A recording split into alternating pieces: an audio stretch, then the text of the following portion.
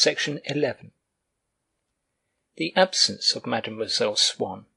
which, since it preserved me from the terrible risk of seeing her appear on one of the paths, and of being identified and scorned by this so privileged little girl who had Bergotte for a friend and used to go with him to visit cathedrals, made the exploration of Tansonville, now for the first time permitted me, a matter of indifference to myself, seemed however to invest the property, in my grandfather's and father's eyes, with a fresh and transient charm, and, like an entirely cloudless sky when one is going mountaineering, to make the day extraordinarily propitious for a walk in this direction. I should have liked to see their reckoning proved false, to see, by a miracle, Mademoiselle Swann appear, with her father, so close to us that we should not have time to escape, and should therefore be obliged to make her acquaintance. And so, when I suddenly noticed a straw basket lying forgotten on the grass, by the side of a line whose float was bobbing in the water, I made a great effort to keep my father and grandfather looking in another direction, away from this sign that she might, after all, be in residence. Still, as Swann had told us that he ought not, really, to go away just then, as he had some people staying in the house, the line might equally belong to one of these guests. Not a footstep was to be heard on any of the paths. Somewhere in one of the tall trees, making a stage in its height, an invisible bird, desperately attempting to make the day seem shorter, was exploring with a long, continuous note the solitude that pressed it on every side. But it received at once so unanimous an answer, so powerful a repercussion of silence and of immobility, that, one would have said, it had arrested for all eternity the moment which it had been trying to make pass more quickly. The sunlight fell so implacably from a fixed sky that one was naturally inclined to slip away out of the reach of its attentions,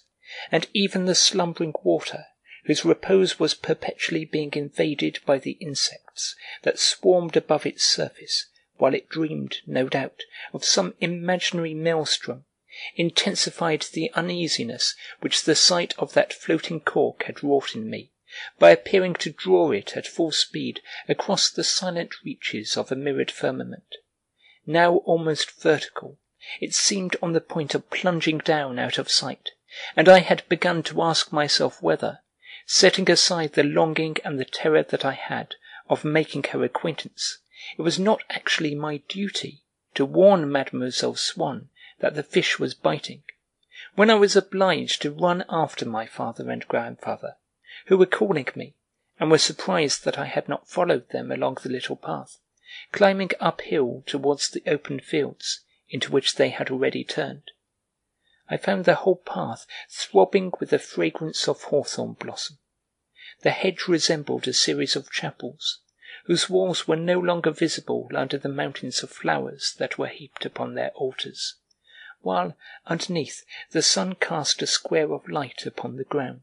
as though it had shone in upon them through a window.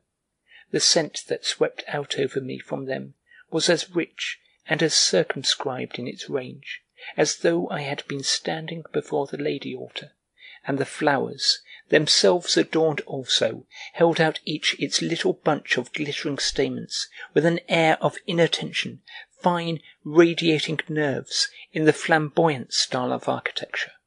like those which, in church, frame the stair to the rood loft or closed the perpendicular tracery of the windows, but here spread out into pools of fleshy white, like strawberry beds in spring.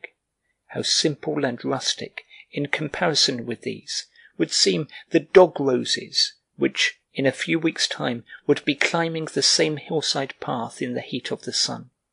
dressed in the smooth silk of their blushing pink bodices,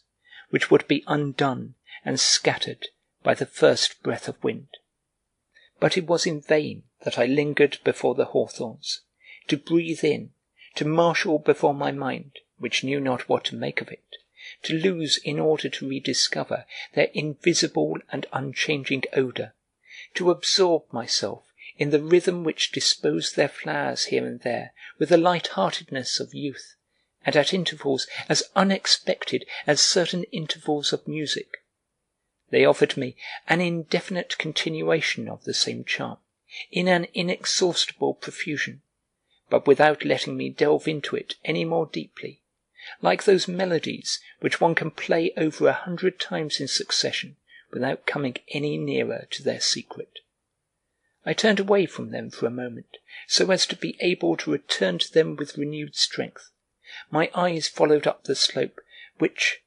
outside the hedge, rose steeply to the fields. A poppy that had strayed and been lost by its fellows, or a few cornflowers that had fallen lazily behind, and decorated the ground here and there with their flowers like the border of a tapestry, in which may be seen at intervals hints of the rustic theme which appears triumphant in the panel itself.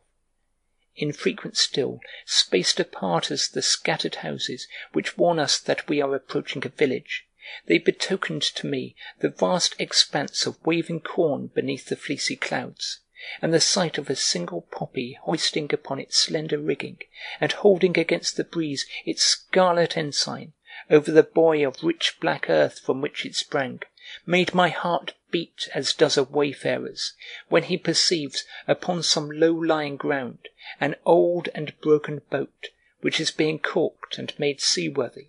and cries out, although he has not yet caught sight of it, "The sea!" And then I returned to my hawthorns, and stood before them as one stands before those masterpieces of painting, which, one imagines, one will be better able to take in when one has looked away for a moment at something else. But in vain did I shape my fingers into a frame, so as to have nothing but the hawthorns before my eyes. The sentiment which they aroused in me remained obscure and vague, struggling and failing to free itself, to float across and become one with the flowers. They themselves offered me no enlightenment, and I could not call upon any other flowers to satisfy this mysterious longing. And then, inspiring me with that rapture which we feel on seeing a work by our favourite painter, quite different from any of those that we already know,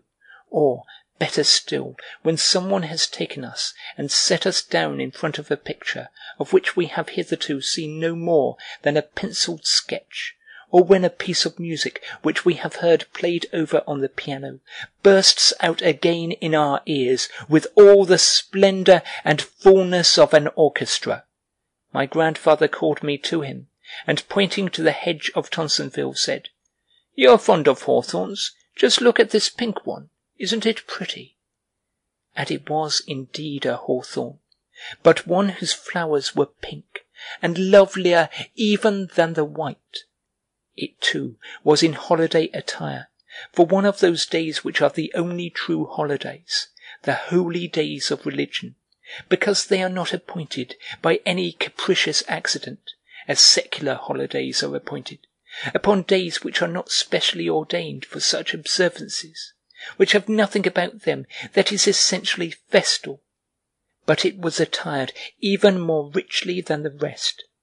for the flowers which clung to its branches, one above another, so thickly as to leave no part of the tree undecorated, like the tassels wreathed about the crook of a rococo shepherdess, were every one of them in colour,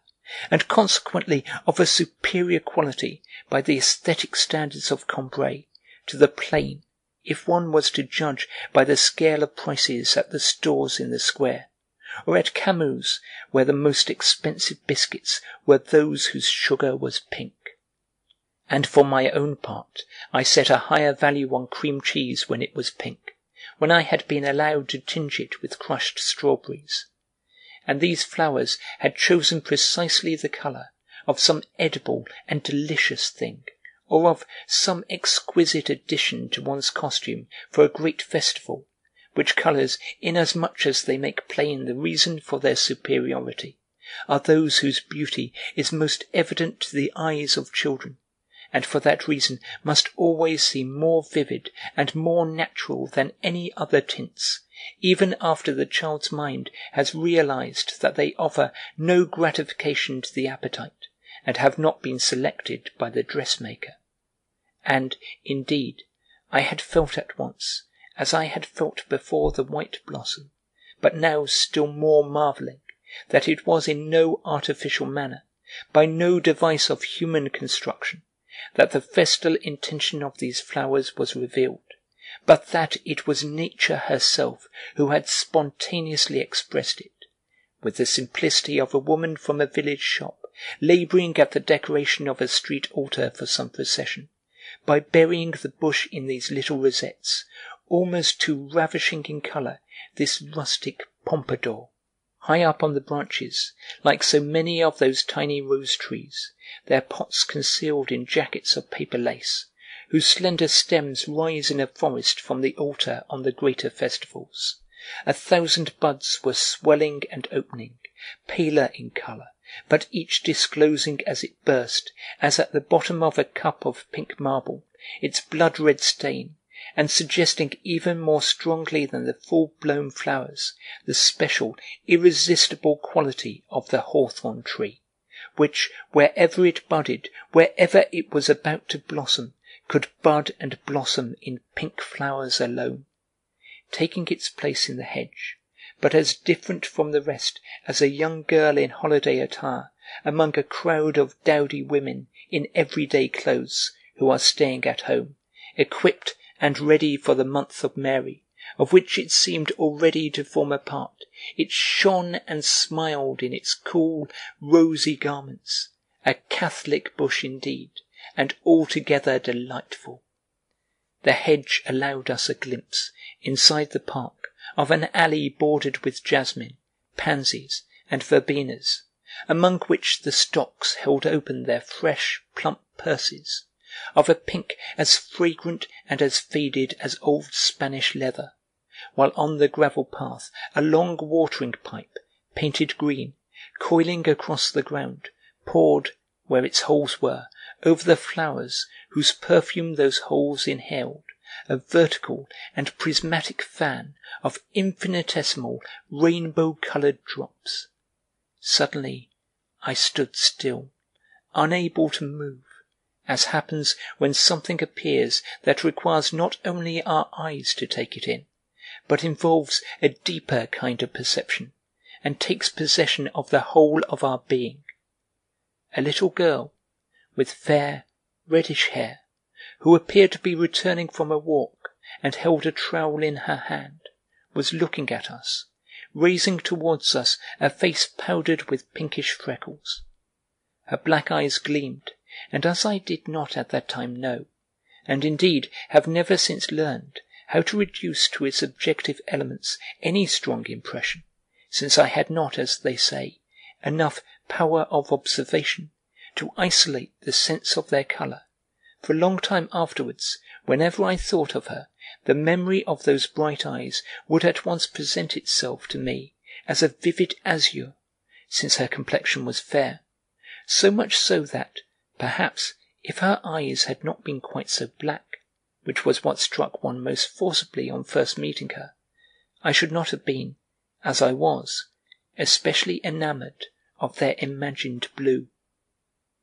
I gazed at her, at first, with that gaze which is not merely a messenger from the eyes, but in whose window all the senses assemble and lean out, petrified and anxious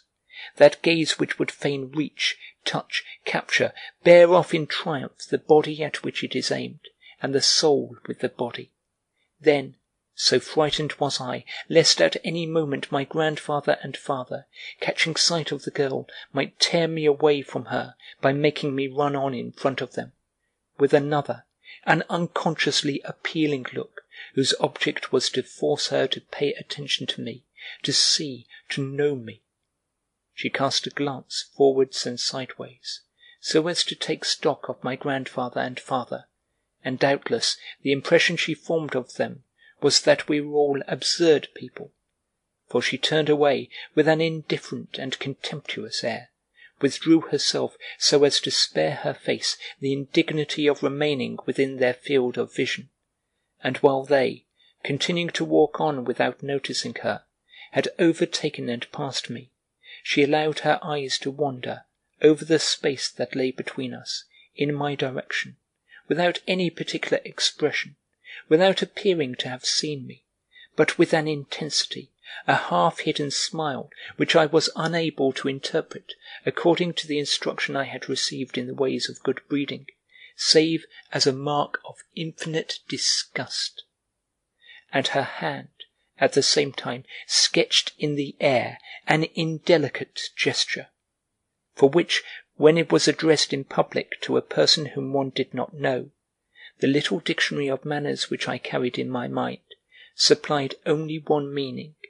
namely, a deliberate insult. "Gilberte, come along! What are you doing?" called out in a piercing tone of authority a lady in white whom I had not seen until that moment, while, a little way beyond her, a gentleman in a suit of linen ducks, whom I did not know either, stared at me with eyes which seemed to be starting from his head. The little girl's smile abruptly faded, and, seizing her trowel, she made off without turning to look again in my direction, with an air of obedience, inscrutable and sly. And so was wafted to my ears the name of Gilberte, bestowed on me like a talisman which might, perhaps, enable me some day to rediscover her whom its syllables had just endowed with a definite personality, whereas, a moment earlier, she had been only something vaguely seen. So it came to me, uttered across the heads of the stocks and jasmines, pungent and cool as the drops which fell from the green watering pipe, impregnating and irradiating the zone of pure air through which it had passed, which it set apart and isolated from all other air, with the mystery of the life of her whom its syllables designated to the happy creatures that lived and walked and travelled in her company, unfolding through the arch of the pink hawthorn which opened at the height of my shoulder the quintessence of their familiarity so exquisitely painful to myself, with her and with all that unknown world of her existence into which I should never penetrate. For a moment while we moved away and my grandfather murmured, Poor Swann, what a life they are leading him. Fancy sending him away so that she can be left alone with her Charlus, for that was Charlus. I recognized him at once, and the child too, at her age to be mixed up in all that. The impression left on me by the despotic tone in which Gilberte's mother had spoken to her, without her replying, by exhibiting her to me as being obliged to yield obedience to some one else, as not being indeed superior to the whole world, calmed my sufferings somewhat, revived some hope in me, and cooled the ardour of my love.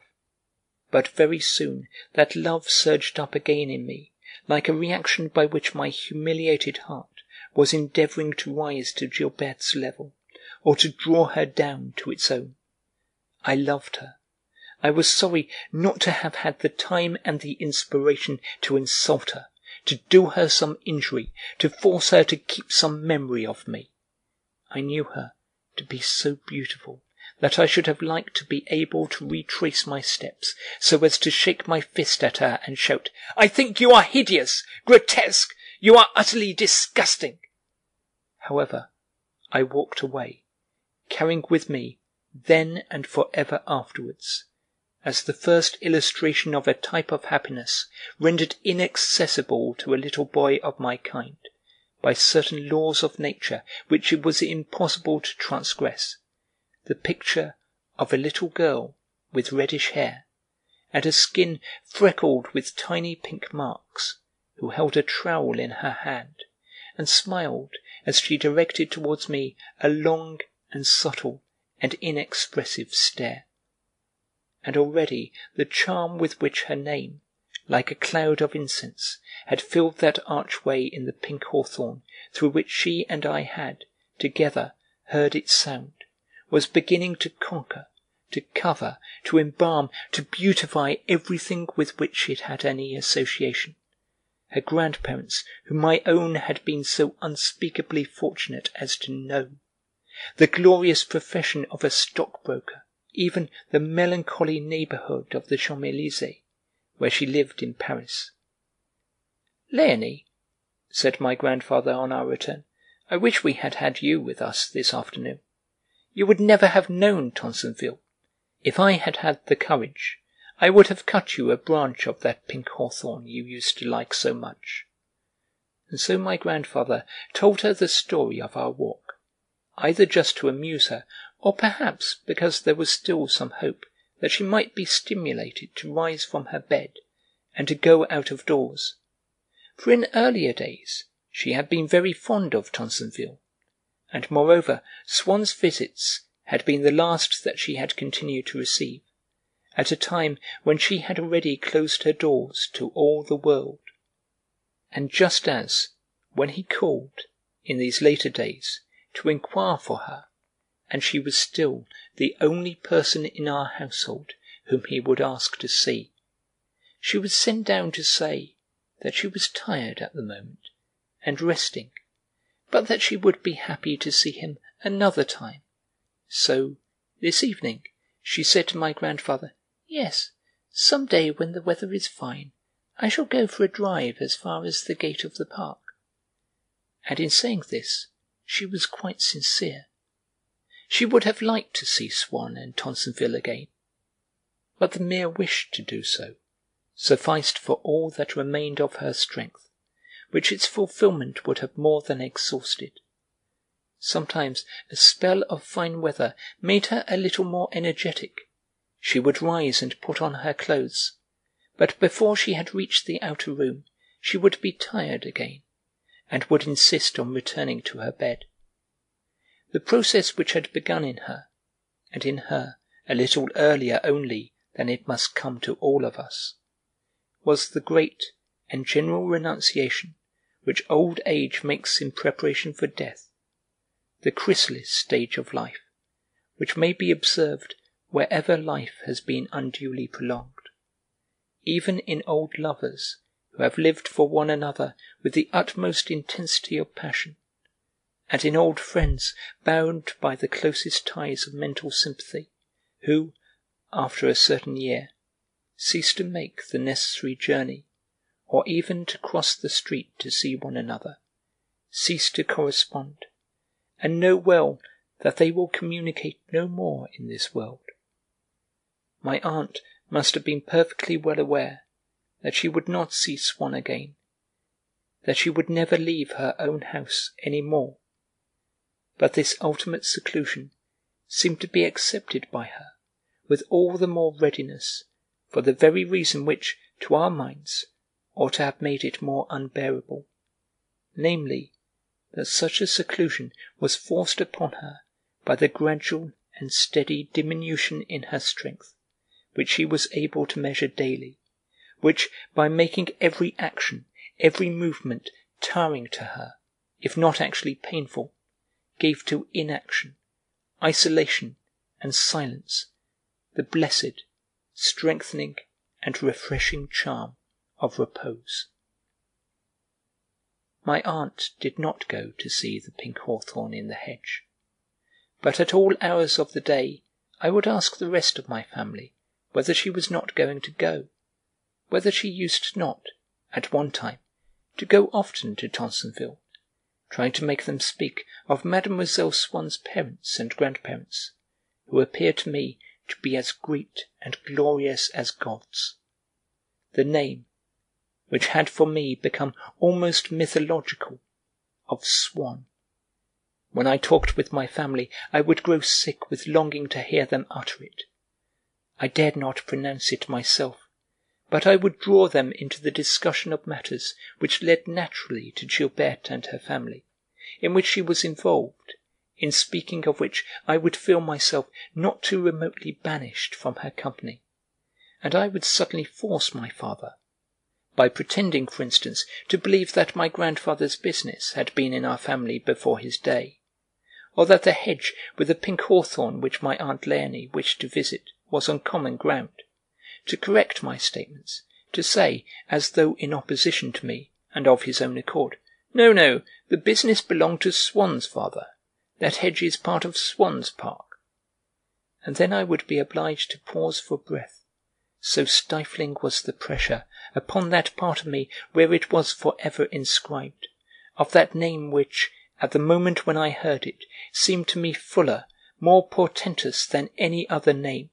because it was burdened with the weight of all the occasions on which I had secretly uttered it in my mind. It caused me a pleasure which I was ashamed to have dared to demand from my parents, for so great was it that to have procured it for me must have involved them in an immensity of effort, and with no recompense, since for them there was no pleasure in the sound.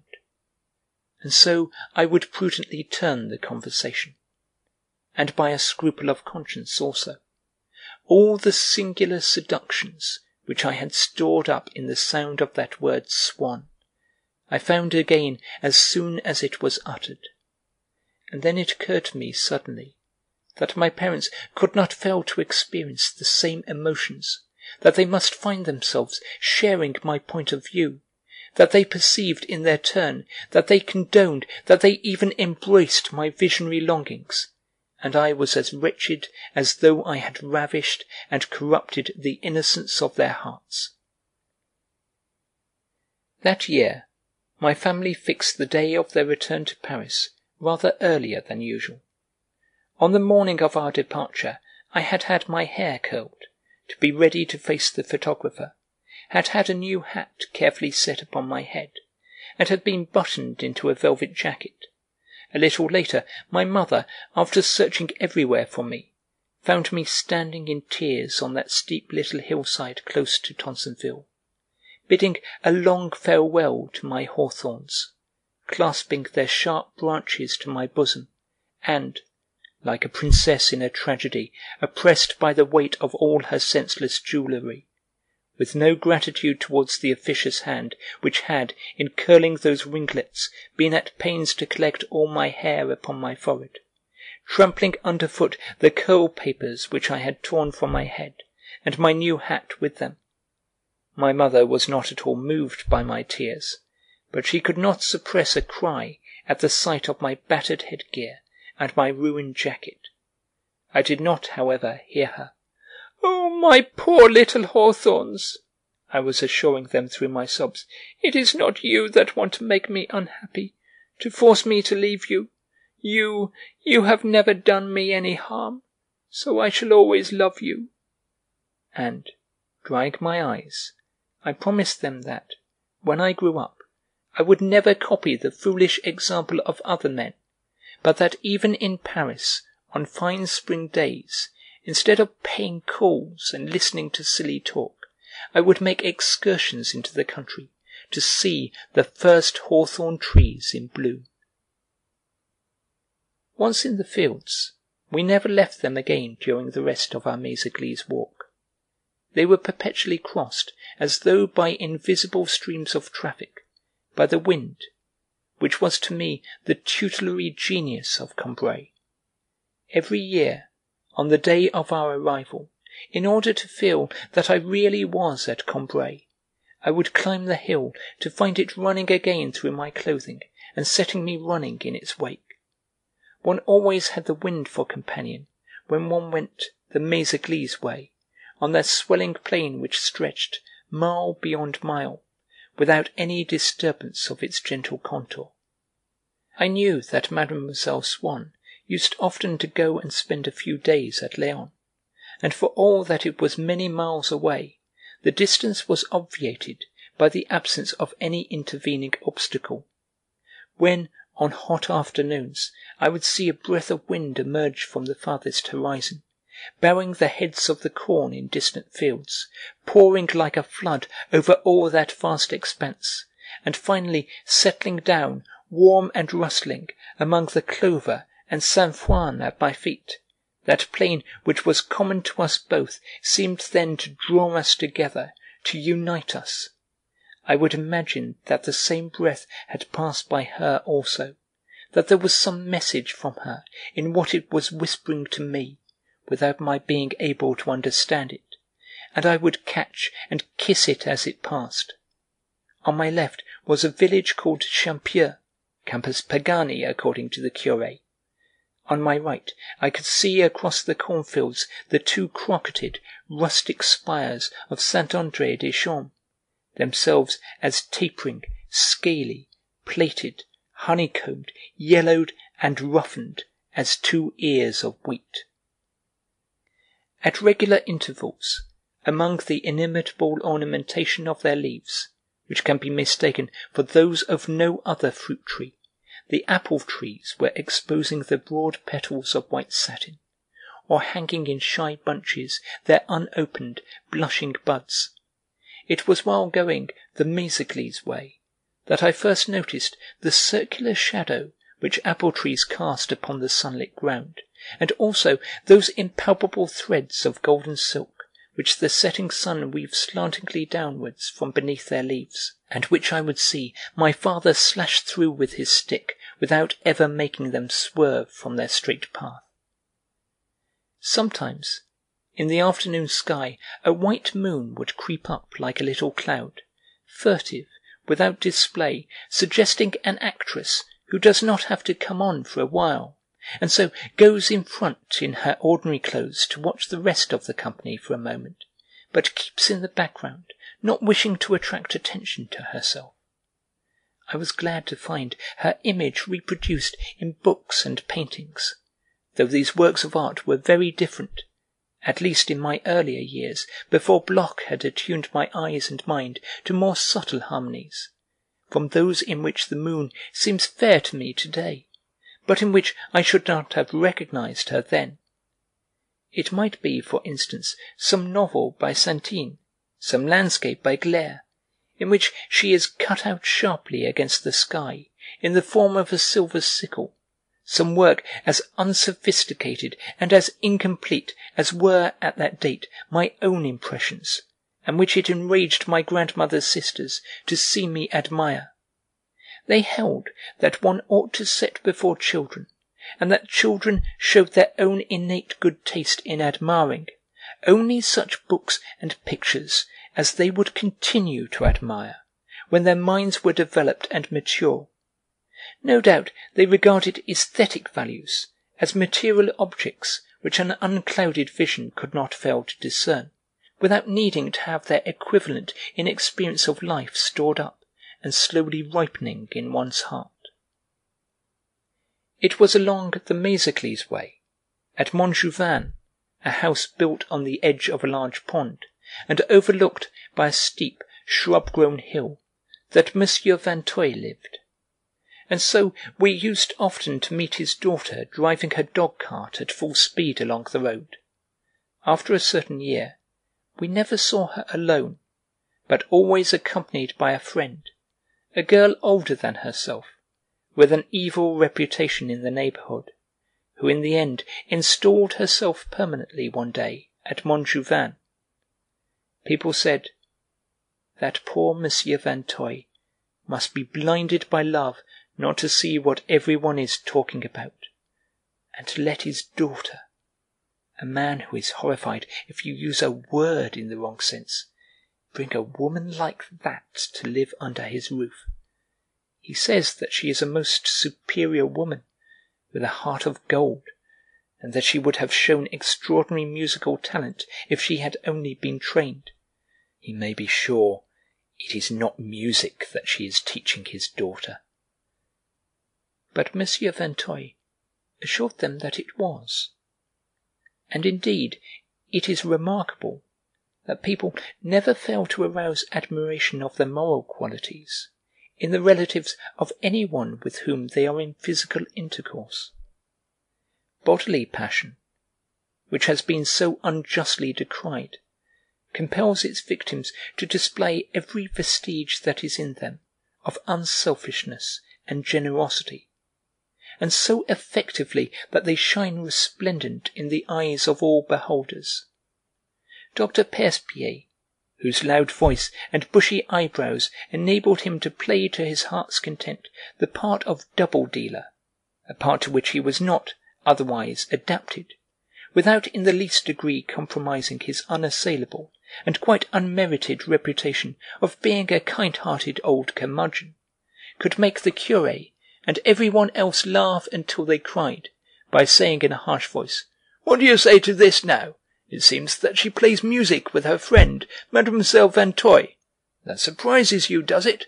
Oh, I know nothing, nothing at all. It was Papa Vinteuil who told me all about it yesterday. After all, she has every right to be fond of music, that girl. I should never dream of thwarting the artistic vocation of her child, nor Vinteuil either, it seems. And then he plays music too, with his daughter's friend. Why, gracious heavens, it must be a regular musical box, that house up there. What are you laughing at? I say they've been playing too much music, those people. I met Papa Vinteuil the other day, by the cemetery. It was all he could do to keep on his feet. Anyone who, like ourselves, had seen Monsieur Vinteuil about this time, avoiding people whom he knew, and turning away as soon as he caught sight of them, changed in a few months into an old man, engulfed in a sea of sorrows, incapable of any effort not directly aimed at promoting his daughter's happiness, spending whole days beside his wife's grave, could hardly have failed to realize that he was gradually dying of a broken heart, could hardly have supposed that he paid no attention to the rumours which were going about. He knew perhaps he even believed, what his neighbours were saying. There is probably no one, however rigid his virtue, who is not liable to find himself, by the complexity of circumstances, living at close quarters with the very vice which he himself has been most outspoken in condemning, without at first recognizing it beneath the disguise which it assumes on entering his presence so as to wound him and to make him suffer. The odd words, the unaccountable attitude one evening of a person whom he has a thousand reasons for loving. But for a man of Monsieur Vinteuil's sensibility, it must have been far more painful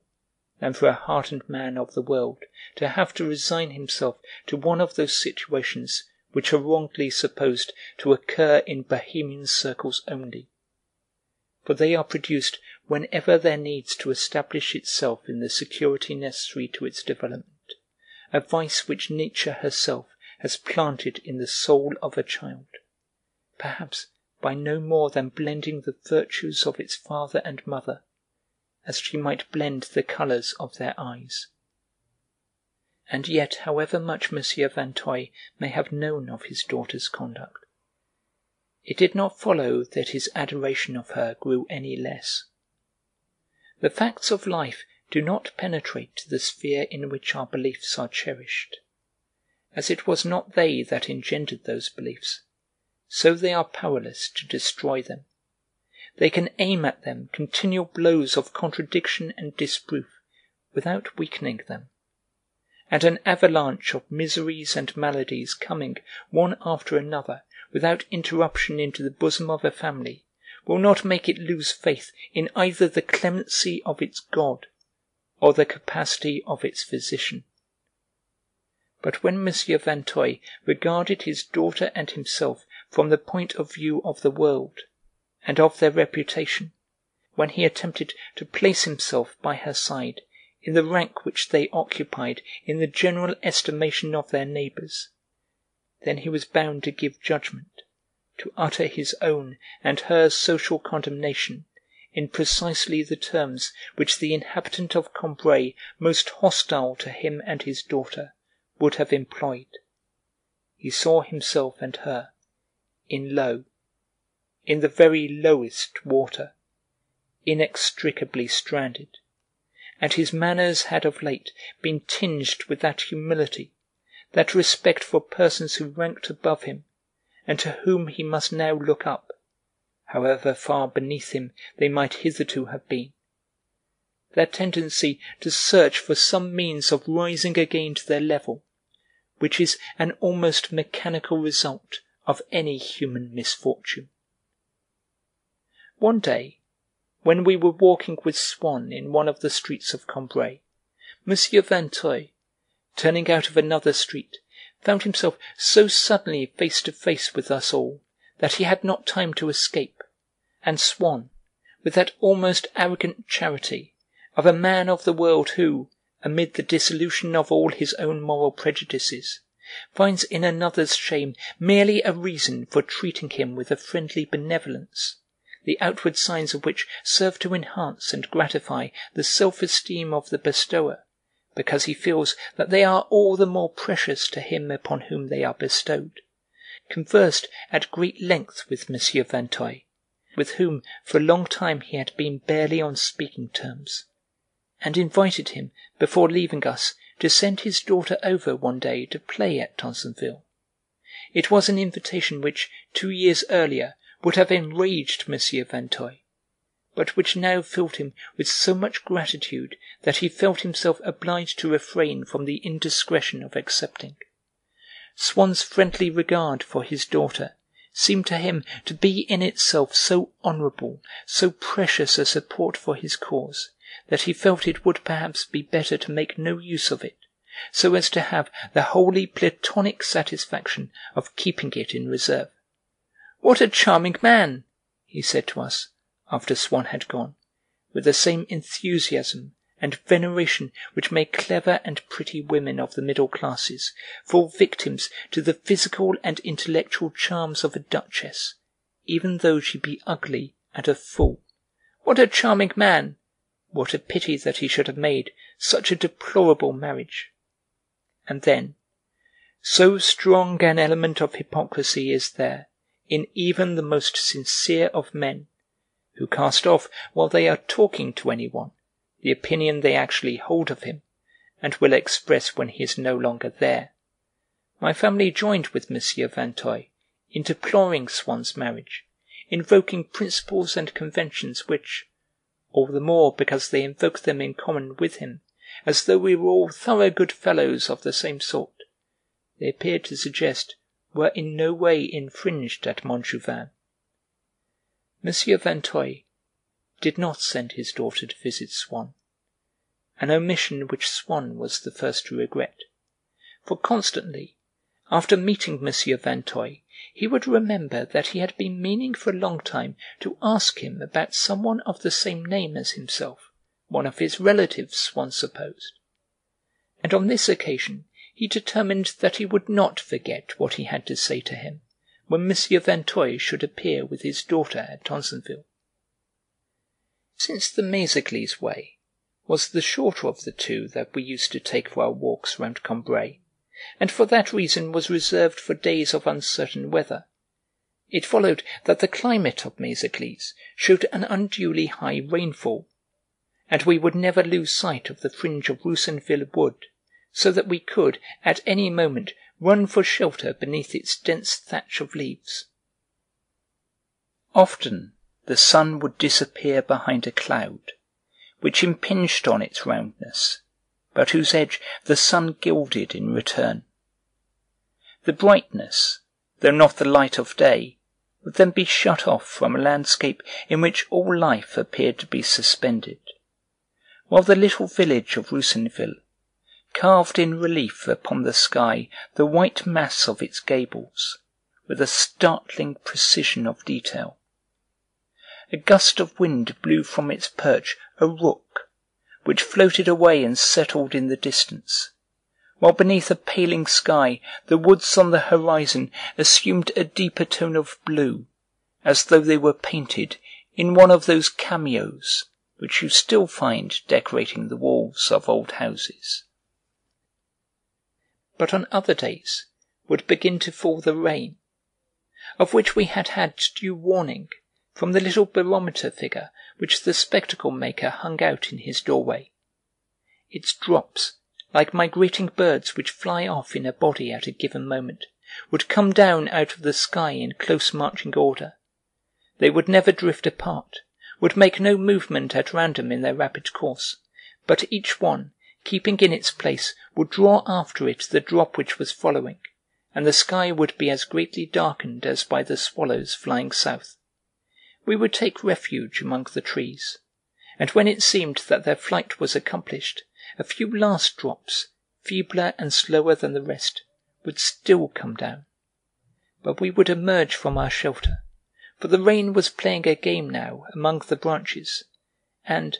even when it was almost dry again underfoot, a stray drop or two, lingering in the hollow of a leaf, would run down and hang glistening from the point of it until suddenly they splashed plump upon our upturned faces from the whole height of the tree. Often, too, we would hurry for shelter, tumbling in among all its stony saints and patriarchs, into the porch of Saint André des Champs. How typically French that church was! Over its door the saints, the kings of chivalry with lilies in their hands, the wedding scenes and funerals were carved as they might have been in the mind of Françoise. The sculptor had also recorded certain anecdotes of Aristotle and Virgil precisely as Françoise in her kitchen would break into speech about Saint Louis as though she herself had known him, generally in order to depreciate by contrast with him my grandparents whom she considered less righteous. One could see that the ideas which the medieval artist and the medieval peasant, who had survived to cook for us in the nineteenth century, had of classical and of early Christian history ideas whose inaccuracy was atoned for by their honest simplicity, were derived not from books, but from a tradition at once ancient and direct, unbroken, oral, degraded, unrecognizable, and alive. Another Combray person whom I could discern also, potential and typified, in the Gothic sculptures of Saint André des Champs, was young Théodore, the assistant in Camus's shop and indeed Françoise herself was well aware that she had in him a countryman and contemporary, for when my aunt was too ill for Françoise to be able, unaided, to lift her in her bed or to carry her to her chair, rather than let the kitchen maid come upstairs and, perhaps, make an impression on my aunt, she would send out for Théodore; and this lad, who was regarded, and quite rightly, in the town as a bad character, was so abounding in that spirit which had served to decorate the porch of Saint André des Champs,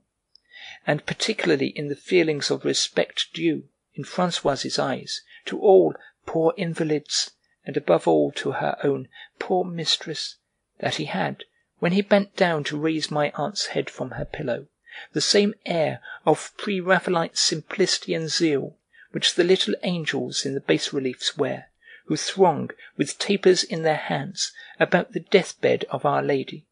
as though those carved faces of stone, naked and grey like trees in winter, were, like them, asleep only, storing up life and waiting to flower again in countless plebeian faces, reverend and cunning as the face of Théodore, and glowing with the ruddy brilliance of ripe apples. End of section 11